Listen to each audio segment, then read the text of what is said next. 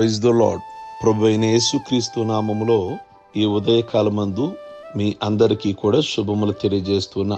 ఈ దినం మీకు శుభం కలుగునుగాక అని నా దేవుని పేరట మీ అందరికీ కూడా తెలియచేస్తూ ఉన్నాను. దేవుడు బలహీనులను ఓడిపోయిన వారిని హక్కున చేర్చుకొని బలవంతులుగా చేస్తాడు. దేవునికి ప్రార్థించే వారి జీవితంలో అద్భుతాలు చేస్తాడు అని ఓ తల్లి రుజువు చేసింది. ఒక మంచి క్రైస్తవ కుటుంబంలో ఏడుగురి సంతానం. పుట్టిన ఏడవ కుమారుడు చాలా బలహీనంగా ఉండేవాడు. ఆ చిన్న బాబును ఏడో సంవత్సరంలో స్కూలుకు పంపించారు. పాఠశాలలో టీచర్లు ఏది చెప్పినా అర్థం చేసుకునేవాడు కాదు ఈ అబ్బాయికి ఎక్కేది కాదు చదువు. దిక్కులు చూసి నవ్వుకుంటూ ఉండేవాడు. స్నేహితులు హేళన చేస్తూ ఉండేవారు. టీచర్లు ఈ బాబు ఇక చదువుకు పనికిరాడు అని పాఠశాల నుండి ఇంటికి పంపించేశారు. ఎన్ని రకాలుగా తల్లి చెప్పినా వారు పాఠాలు చెప్పడానికి టీచర్స్ అసలు ఒప్పుకోలేదు. ఈ బిడ్డ విషయమై చివరికి తల్లి ఎంతో కృంగిపోయింది. ఆ తల్లి అక్కడున్న అందరితో సవాల్ చేసింది. మీ అందరికంటే నా కుమారుడు గొప్పవాడిగా రాణించకపోతే నేను దేవుని బిడ్డను కానేనని సవాలు చేసి తన కుమారుడిని ఇంటికి తీసుకెళ్ళి తల్లి ఆ ఒడే బడిగా చేసి బోధించింది. అడుగు వాటన్నిటికంటే ఊహించు వాటన్నిటికంటే అత్యధికముగా చేయగలిగిన శక్తి కలిగిన దేవునికి తన కుమారుని అప్పగించుకుంది. అద్భుతాలు చేసే దేవుడు ఆ బాబుని ఒక రోజున జ్ఞాపకం చేసుకున్నాడు. కొన్ని సంవత్సరాల తరువాత ఆ బాబు విద్యుత్ బల్బు కనిపెట్టడానికి ప్రయత్నాలు మొదలుపెట్టాడు. ప్రార్థన చేస్తూ పని ప్రారంభించాడు. ప్రార్థన వినే దేవుడు ప్రార్థన ఆలకించి ఉత్తరమిచ్చాడు. అది సెప్టెంబర్ నెల నాలుగవ తారీఖు పద్దెనిమిది వందల ఎనభై రెండు న్యూయార్క్ పట్టణము. సిటీలో వేలాది మంది ప్రజలు చిమ్మ చీకటిలో ఉండగా ప్రార్థనతో కూడిన ప్రయాస ఫలితముగా ఏకదాటిగా వెయ్యి దీపాలు వెలిగాయి. చీకటి ప్రాంతం మొత్తం వెలుగుగా నింపబడింది. అమెరికాలో కూడా ఆ దినాడు ఆ రోజుల్లో కరెంటు లేదు. ప్రియ దేవుని బిడలారా ఆ బలుపు కనిపెట్టిన వ్యక్తి పేరు ఎడిసెన్. Thomas Alva ఎడిసెన్. అతని తల్లి పేరు నాన్సీ. అందరూ ఎడిసెన్ని ప్రశంసిస్తూ మాట్లాడుతున్నప్పుడు ఎక్కువగా రెండు విషయాలు మాట్లాడేవాడు. ఎంతగా అతని గురించి మాట్లాడేవాళ్ళు అంటే అంటే మరి కరెంటును కనిపెట్టిన వ్యక్తి అతనే కదా? ప్రియ దేవుని బిడలేరా విద్యుత్తును కనుగొన్న వ్యక్తి అతనే కదా? మరి ప్రపంచం ఎంతగా మాట్లాడాలి అతని గురించి? అయితే అతను మాట్లాడుతూ ఉండేవాడు. నా తల్లి కన్నీటి ప్రార్థన నన్ను మనిషిగా మార్చింది. ఆమె చేసిన కన్నీటి ప్రార్థన ఈరోజు నన్ను మీ మధ్య ఒక గొప్ప వ్యక్తిగా నిలబెట్టింది అని చెప్పాడు. తర్వాత బైబిల్ గురించి మాట్లాడేవాడు. ఒకరోజు మా పాస్టర్ గారు చెప్తున్న వాక్యము వినుచుండగా మా పాస్టర్ గారు యోబు గ్రంథము ఇరవై ఎనిమిదో అధ్యాయము మూడో వచనము చదివి ఆత్మీయంగా బోధించారు.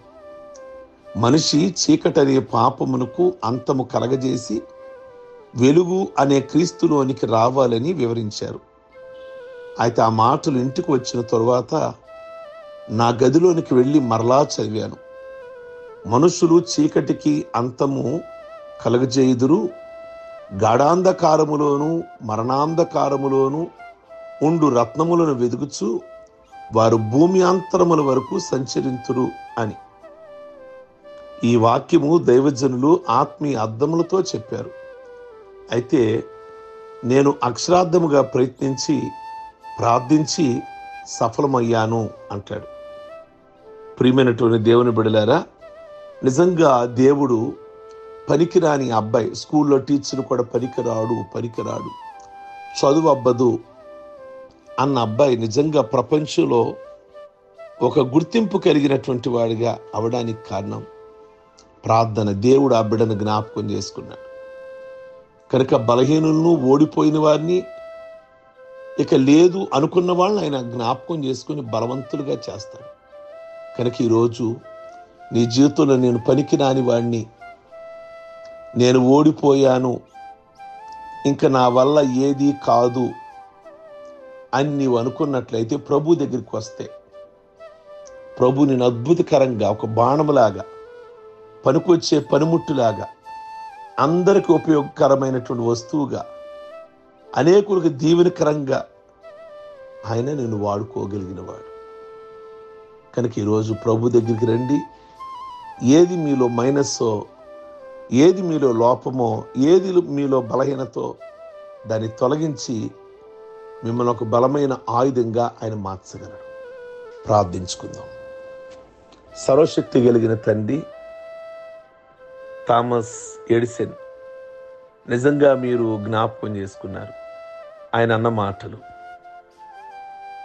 బైబిలు నన్ను వెలిగించింది.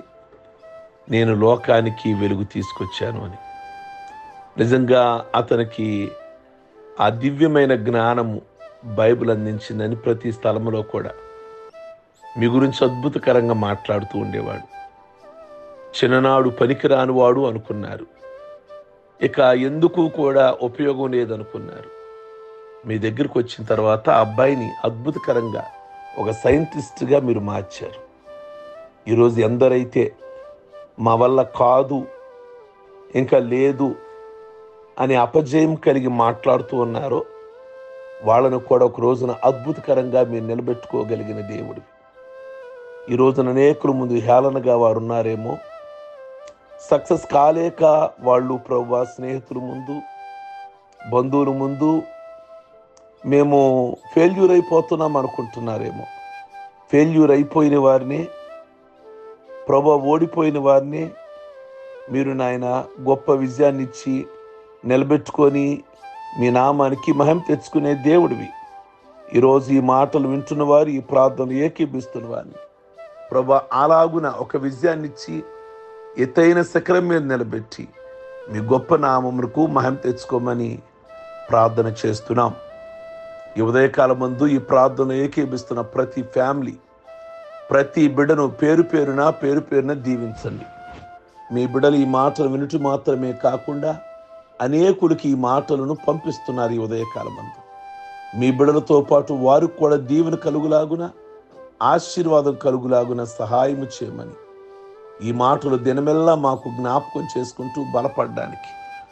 అలాగే ఈరోజు వారి కుటుంబాల్లో జరిగే ప్రత్యేకమైన ప్రోగ్రామ్స్ శుభకార్యాలు పెళ్ళిళ్ళు పెళ్ళి రోజులు పుట్టినరోజులు అలాగే ఆత్మీయమైన పుట్టినరోజులు మీ సన్నిధిలో జ్ఞాపకం చేసుకుంటున్న వారందరినీ కూడా మీరు దీవిస్తూ ఆస్వాదిస్తూ ఇలాంటి సంవత్సరాలు అనేకమైన చేసుకుంటూ మిమ్మల్ని కలిగిన జీవితాలు వారికి దయచేయమని ఏస్ పరిశుద్ధ నామంలో అడుగుచున్నాం తండ్రి. ఆమెన్. గాడ్ బ్లెస్ యూ మీ అందరికీ ఉదయకాలమందు.